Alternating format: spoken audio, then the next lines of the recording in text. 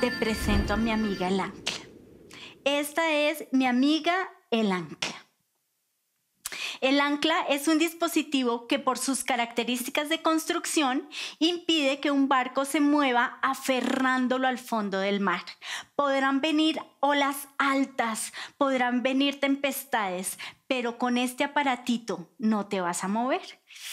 Los barcos no van a ser movidos, ni van a ser arrastrados, ni, ni nada va a pasar. ¿Por qué? porque este aparatito los mantiene firmes. En el Antiguo Testamento encontramos a dos personas, a muchas personas que por su fe se anclaron y no se movieron. Pudieron venir tempestades, pudieron venir, pudieron venir pruebas, prueba tras prueba, pero ellos no se, no se movieron. Quiero hablarte de dos personajes en el Nuevo Testamento. El primero es una mujer y esta mujer es la mujer que encontramos en Mateo 15 del 21 al 28 y se llama la fe de una mujer gentil. Luego Jesús salió de Galilea hacia Tiro y Sidón. Una mujer de los gentiles que vivía allí se le acercó y le rogó, Ten misericordia de mí, oh Señor, hijo de David, pues mi hija está poseída por un demonio que la atormenta terriblemente. Pero Jesús no le contestó ni una palabra. Entonces sus discípulos le dijeron, ay, despídela, dile que se vaya, esa señora nos está molestando con sus súplicas. Entonces Jesús le dijo a la mujer, fui enviado para ayudar solamente a las ovejas perdidas de Dios, el pueblo de Israel. Y ella se acercó y lo adoró y le rogó una vez más, Señor, ayúdame. Entonces yo me imagino que Dios, que Jesús en la mañana fue a orar, fue a donde Dios y, y Dios le dijo, te voy a sorprender hoy. Y Jesús le dijo, ¿por qué? Te voy a mandar una mujer. Te la vas a encontrar en Ciro y Sidón. Cuando vayas hacia allá te la vas a encontrar. Pero entonces te las vas a tirar de chico difícil. No le vas a decir nada. Vas a estar callado, no vas a responder, vas a ser serio, no vas a tocarla, no vas a hacer ningún milagro, nada, vas a ser un chico difícil porque te quiero sorprender. Entonces imagínense que Jesús le respondió, no está bien tomar la comida de los hijos y arrojársela a los perros. Jesús no es así. Jesús a nadie trató como un perro, solo a esta mujer. Jesús tocó a los que tenían lepra. Jesús tocó a los leprosos. Hoy en día Jesús tocó a los que tenían COVID. Es verdad, Señor, respondió la mujer pero hasta los perros se les permite comer las sobras que caen bajo la mesa de sus amos. Apreciada mujer, le dijo Jesús, qué grande es tu fe. ¡Wow! Que se cumpla lo que quieres.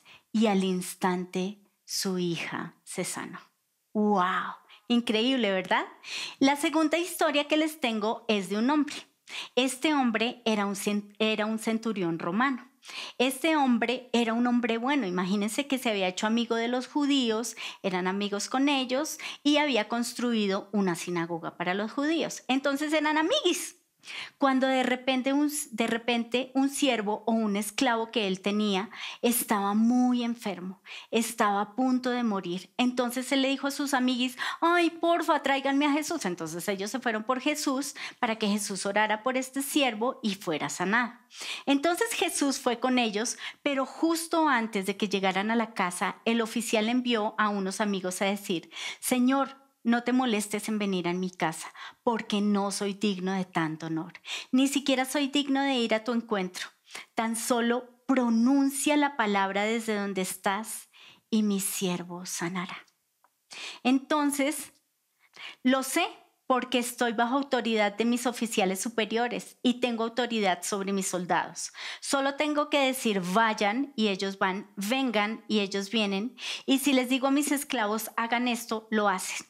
Entonces Jesús quedó asombrado. ¡Wow!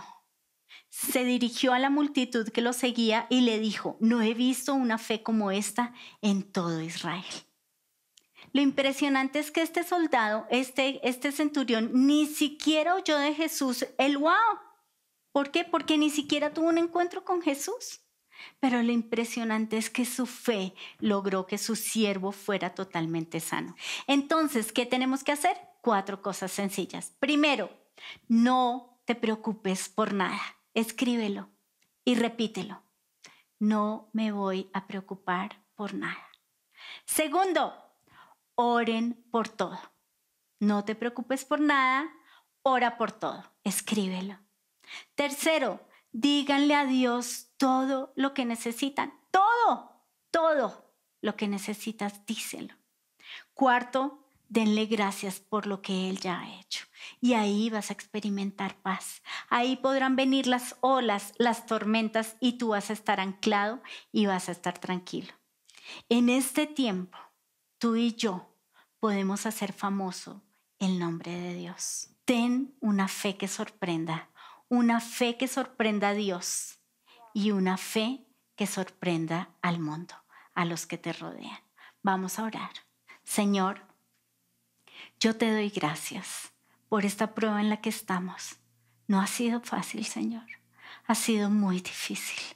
Pero, Señor, nosotros queremos anclarnos a esa promesa que tú nos has dado. Hoy, Señor, nos anclamos a tu promesa. Hoy nos, hoy nos anclamos, Señor, a tus milagros. Hoy, Señor, nos anclamos a tu palabra. Hoy nos anclamos a ti, Jesús. Y hoy te pedimos, Padre del cielo, en el nombre de Jesús, yo te pido que tu palabra sea ese abrigo en las noches de frío. Que nosotros podamos tener la fe de que tú estás con nosotros, que no estamos abandonados, sino por el contrario, Señor, estamos anclados. Estamos anclados a ti.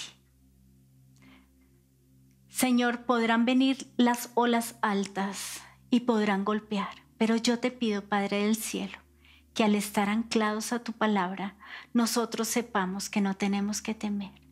Yo te pido, Señor, que nosotros podamos ir a ti y orar y contarte todo.